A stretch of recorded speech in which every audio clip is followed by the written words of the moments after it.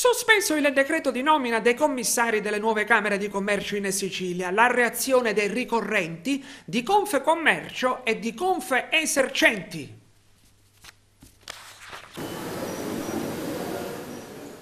In Sicilia è stata modificata radicalmente la geografia delle Camere di Commercio. Diversamente da quanto previsto nel progetto iniziale, la Maxi Camera di Commercio del Sud-Est Sicilia o Sicilia Sud-Orientale è stata spacchettata. Da una parte vi è solo la Camera di Commercio di Catania, dall'altra parte invece le Camere di Commercio di Siracusa e Ragusa sono adesso parte di una Maxi Camera di Commercio a 5, che comprende anche Trapani, Agrigento e Caltanissetta. Il ministro per lo sviluppo economico Giancarlo Giorgetti ha già firmato i decreti di nomina dei commissari delle Camere di Commercio siciliane, che sono state riformate con il voto di un'ampia maggioranza in Parlamento. Dunque, Massimo Conigliaro, presidente dell'Ordine dei commercialisti di Siracusa, e il commissario della Camera di Commercio di Agrigento, Trapani, Caltanissetta, Siracusa e Ragusa, e Giuseppe Giuffrida dell'Ordine dei commercialisti di Catania e a capo della Camera di Commercio di Catania.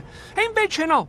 Infatti, Adesso è accaduto che il TAR ha accolto un ricorso che come primo effetto ha sospeso il decreto di Giorgetti di nomina dei commissari. E ciò perché, secondo il TAR, i commissari sono stati nominati prima che fossero istituite le due nuove Camere di Commercio.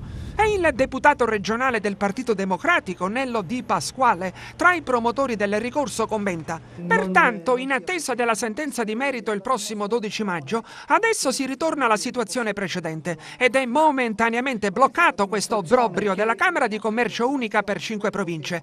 Questa novità mette ora i territori e la politica nelle condizioni di poter ragionare meglio e più intelligentemente sulla da farsi, avendo tra gli obiettivi l'istituzione della quinta Camera di Commercio e mettendo da parte almeno per ora questa ipotesi aberrante della Camera unica per cinque province. Si riparta dunque dal quadro precedente rimettendo al centro il confronto tra territori e istituzioni ad ogni livello Dai. e mettendo in primo piano le necessità delle aziende e il tessuto produttivo di ogni provincia. Condivide e rilancia Confecommercio Sicilia che commenta è un risultato che naturalmente è il frutto dei ricorsi che hanno per matrice componenti della nostra organizzazione di categoria. Questa sospensiva è una lezione severa nei confronti di quella politica arrogante e per nulla sensibile, dedita ad altro più che al bene comune, sicuramente non interessata ad ascoltare la viva voce delle imprese e delle organizzazioni che le rappresentano. Al di là di come andrà a finire, sembra evidente che i ricorsi erano una cosa che andava fatta, segnale chiarissimo di lotta democratica, buon senso e lungimiranza sociale, imprenditoriale e territoriale. E il presidente di Confesercenti Sicilia, l'agrigentino Vittorio Messina, aggiunge Da lungo tempo ormai il sistema camerale siciliano si trova in una posizione di stallo, tra carte bollate, tattiche politiche e silenzi assordanti della regione. L'approssimarsi della campagna elettorale probabilmente renderà ancora più defilato il ruolo del governo regionale e dell'assessore regionale alle attività produttive, ma è opportuno ricordare che gli operatori economici, che con grandi sacrifici cercano di resistere alle intemperie intemperie di una crisi che si alimenta di diversi fattori contingenti e strutturali meritano più attenzione e rispetto.